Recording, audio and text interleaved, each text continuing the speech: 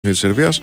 Καλημέρα κύριε Νίκο, μας τι κάνετε; Καλή σας μέρα κύριε. Καλημέρα, καλημέρα. Μποντζόρνο που θα λέγει και ο Μαριάννη. Μποντζόρνο, μποντζόρνο. Μποντζόρνο που θα λέγει και ο Μαριάννη και επειδή άκουγα την απορία του Βάιου Μμ. α, για μια αποβολή στον Άμραμπαντ διαμαρτύρονταν ο Ολυμπιακός Α, και μάλιστα ότι του έχει χαρίσει δεύτερη κίτρινη κάρτα σε δύο περιπτώσεις και για κάτι άλλο το οποίο δεν το θυμάμαι αλλά ο Πατριάρχης σίγουρα μια θα το γκρίνια, θυμάται μια καλύτερα. γκρίνια είχε πάντως.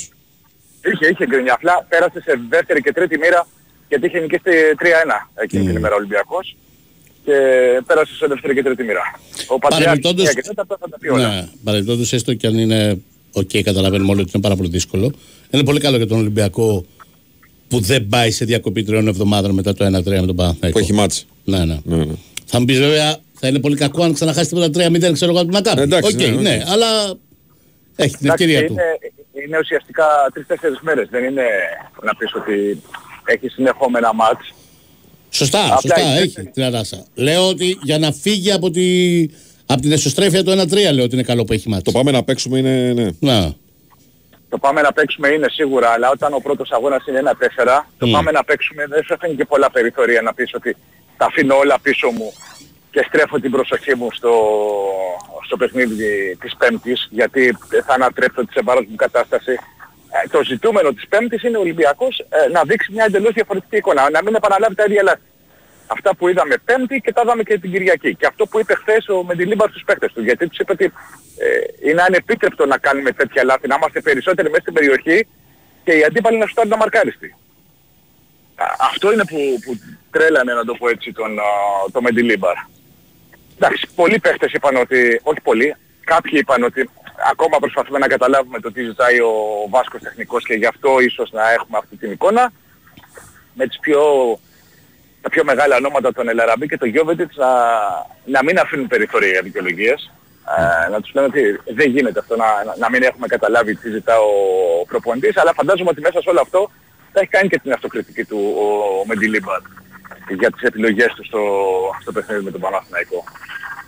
Και το ξαναλέω ότι δεν είναι το 4-4-2 που κάτι είχε στο μυαλό του και δεν του βγήκε, είναι ότι επέμενε σε αυτό το σχήμα ενώ δεν τον βοηθούσε καθόλου. Ενώ δεν έκανε κάτι, ας πούμε, ο ίδιος είπε ότι στην επίθεση οι γραμμές ήταν πολύ μακριά με αποτέλεσμα ο Κάρμο να ψάχνει με βαθιές μπαλιές ε, τους επιθετικούς. Ναι, αυτό δεν Δεν προηγήθηκε. έκανε όμως κάτι να ανταλλάξει. Από τα χαφ δεν προήλθε αυτό όμως, από το πρόβλημα πως, έτσι όπως στήθηκαν τα Αυτό χαφ. θέλω να σου πω. Ε, δηλαδή. Αυτό δεν έκανε κάτι να ανταλλάξει. Ναι. Άρα φαντάζομαι ότι πέρα από τις παρατηρήσεις στους παίχτες και για το πώς αμύνονται και το, τι- το πώς λειτουργούν, το πώς δεν πρέπει να αφήνουν αποστάσεις, θα είπε και ο ίδιος ότι ναι, οκ, έκαναν αυτά οι παίχτες, αλλά έκανα και αυτό εγώ, Ναι. Το οποίο πρέπει να το διορθώσω. Τώρα, επειδή ρωτήσατε πώς προετοιμάζεται ο Ολυμπιακός, ρεπό έχουμε σήμερα.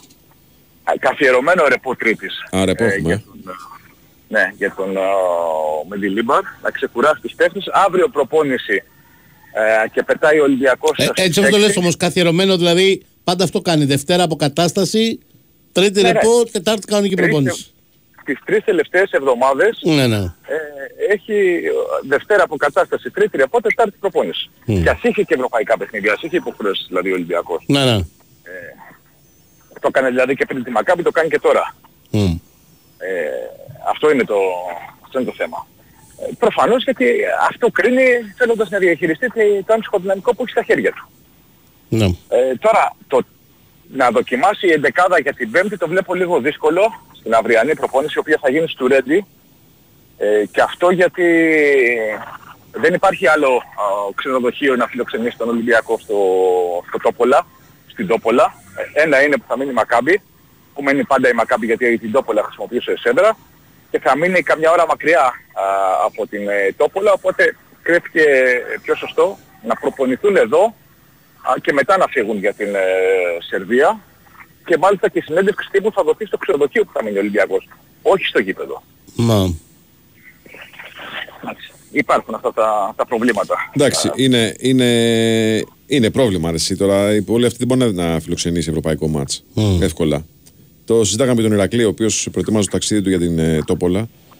Ε, δεν είναι εύκολο να μείνεις, δεν είναι εύκολο να, να φιλοξενήσει πολύ κόσμο. Δηλαδή, και πάλι καλά που γίνεται και χωρίς κο- κόσμο το γήπεδο. Χωρίς κόσμο, χωρίς πολύ κόσμο το μάτς. Ναι. Ναι, 4.000 χωράει. Άμα ήταν και μεγαλύτερο το γήπεδο, φαντάζομαι ότι θα ήταν πρόβλημα και για τον κόσμο που θα ήθελε να μεταβεί εκεί. Για το πού θα μείνει, το πώς θα μετακινηθεί. Εντάξει, τι να κάνουμε. Υπάρχουν και αυτά τα προβλήματα, τα οποία τουλάχιστον η ομάδα τα ξεπερνά όποιος πάει μέχρι τη Σερβία θα κληθεί να τα αντιμετωπίσει και αυτά.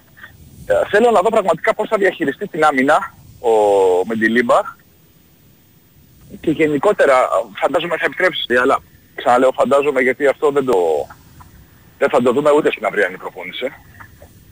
Ε, και να δούμε αν ο Πασχαλάκης, ο Αλεξανδρόπουλος δεν θα είναι έτοιμος, ε, δεν τον έχουμε εγκαταλείψει οι ενοχλήσεις στην μέση. Ο Πασχαλάκης έχει μια ενόχληση στον νόμο. Ε, να δούμε λογικά πώς το λέει θα είναι, το θέμα είναι αν θα παίξει ή θα είναι η σειρά του Τζολάκη για να φορέσει τα γάντια του βασικού και από εκεί και πέρα όλα ανοιχτά για το πόσες αλλαγές μπορεί να κάνει, ποιες αλλαγές μπορεί να κάνει, αν θα αλλάξει το σύστημα, γιατί μετά αυτό το 4-4-2 μας έκανε ακόμα πιο δύσκολο το, το ενδεχόμενο να, να βρούμε τι έχει στο μυαλό του με τη Λίμπα. Παρεπτόντως, συγγνώμη, παρεπτόντως δεν υπάρχει Ναβάρο στην Ευρώπη, έτσι; Όχι. Ναι, Ναβάρο δεν υπάρχει. Δηλαδή αν παίξει 4-4-2 θα το παίξει Με Γιώβετιτς όμως. είτε Πιο με σωστά. Μασούρα είτε με Γιώβετιτς Πιο είτε με σωστά. τον Αραμπί. Ναι, πιο σωστά. Ναι. Ναι. Ε, Έχει. Αν θέλει να τιμήσει εδώ, εδώ θα δύο επιλογές έχει. Μμ. Αυτό είναι δεδομένο. Μπα, εγώ νομίζω θα βάλει τρία χαφ. Και να σου πω και ένα μυστικό εδώ τώρα, μας ακούει κανείς. Θα κερδίσει ο Ολυμπιακός. Μα. Δεν ξέρω αν θα κάνει, αν θα κάνει αχ για πρόκριση, δηλαδή αν θα φτάσει σε ένα 0-2 και να πούμε τώρα τι ψάχνουμε, ένα γκολ ψάχνουμε. Δεν το ξέρω αυτό. Εγώ λέω όμως ότι θα κερδίσει ο Ολυμπιακός.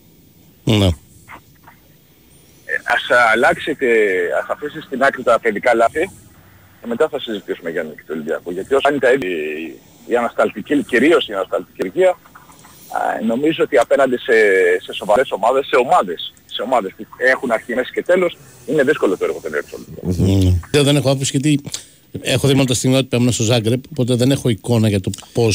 Έχω εικόνα από τα γκολ, οκ. ε, αστεία πάλι παιδικά λάθη, αλλά δεν έχω εικόνα για, για το υπόλοιπο κομμάτι του παιχνιδιού και το κατά το υπόλοιπο πόσο. κομμάτι, Μιχάλη, όταν είσαι 0-2 στο 10 Μμ. α, και...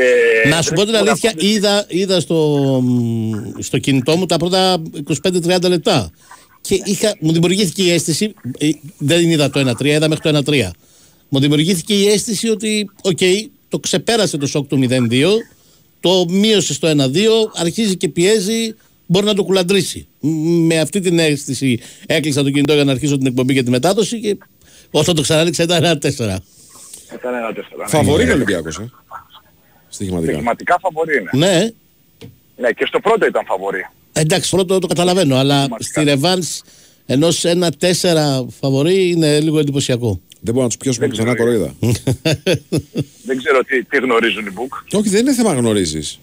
Αλλά ε, βλέποντας το παιχνίδι, λες αποκλείεται να πάθει το ίδιο πράγμα, ρε παιδί μου Ολυμπιακός. Στο 10 ήταν 0-2, ρε παιδιά. Να. Μετά ήταν. οκ. Και δεύτερο Αλλά, ημίχρονο ε, σπεκούλα, ρε. Όλο το δεύτερο ημίχρονο η Μακάμπη ήταν πίσω από το, από την μπάλα και περίμενε να χτυπήσει την κόντρα. Εντάξει, είχε βγει μπροστά ο Ε, καλά, Ολυμπιακός. και τώρα αυτό ίδιο θα κάνει. Ε. Γι' αυτό δεν είμαι βέβαιος. Συμφωνώ με. Ε, Βάιε, συμφωνώ σε αυτό που λες, ότι αποκλείεται να πάθει το ίδιο πράγμα, αλλά φαντάζομαι το αποκλείεται να πάθει το ίδιο πράγμα το λέγαμε σε οποιαδήποτε κουβέντα μας και πριν το παιχνίδι με τον Παναθηναϊκό. Ναι. Ναι. Εντάξει, δεν έπαθε ακριβώς το είπα. ίδιο όμως με τον Παναθηναϊκό. Αλλά το, το ίδιο και χειρότερο. Ναι. Ε, απλά δεν έφαγε τα γκολ νωρίς. Ναι. Τα έφαγε στο τέλος, μαζεμένα. Στο τέλος του πρώτου ημιχρόνου. Αυτό είναι το θέμα. Ναι. Γιατί η, αμυντική- η ανασταλτική λειτουργία ήταν και πάλι παιδική χαρά. Αυτό θέλω να σου πω. ναι. Αυτά κύριε. Μάλιστα, ωραία κύριε. Χαίρετε.